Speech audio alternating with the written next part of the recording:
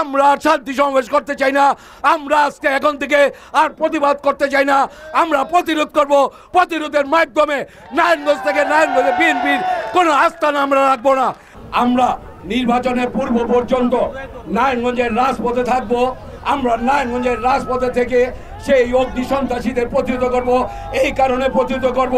আপনারা দেখেছেন, গত আঠাশে অক্টোবরে, সেই আঠাশে অক্টোবরে ঢাকার রাজপথে যারা উনিশশো একাত্তর সালে আমার লাল সবুজের পতাকার বিরোধিতা করেছিল যারা আমার বাংলাদেশের পতাকার বিরোধিতা করেছিল, সেই যোগ্য কুচক্রীরা আবারও ঢাকার রাজপথে থেকে দুই হাজার চোদ্দ সালে পাঁচই জানুয়ারি নির্বাচনের পূর্বে সেই আমার রাজশাহীতে যেমনিভাবে তারা পুলিশের হত্যা করেছিল, পুলিশের উপরে হামলা করেছিল, সেই রূপ তাদের বেরিয়েছে সেই আঠাশে অক্টোবর আমাদের একজন মুক্তিযোদ্ধার সন্তান, সেই পারভেজ ভাইকে নির্মমভাবে হত্যা করেছে।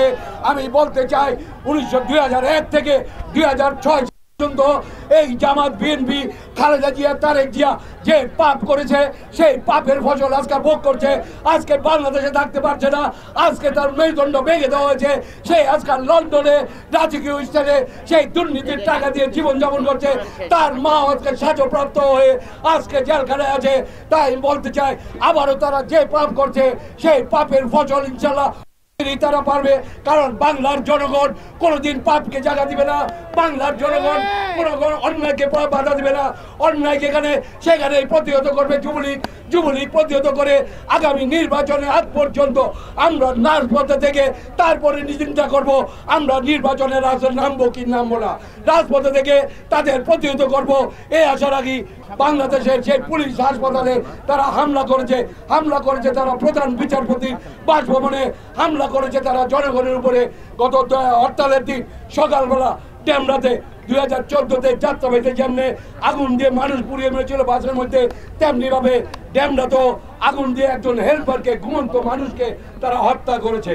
তাই আপনাদের কাছে আমি বলতে চাই আপনারা সেই অন্যায়ের বিরুদ্ধে সেই আগুন সন্ত্রাসের বিরুদ্ধে রাজপথ থেকে প্রতিহত করবেন এবং প্রতিহত করার আহ্বান জানিয়ে পাশাপাশি আমি ধন্যবাদ জানাই আমাদের বাংলাদেশ আওয়ামী যুবলীগের সাংগঠনিক সম্পাদক আবু মোহাম্মদ শহীদুল হক রাসেল ভাইকে।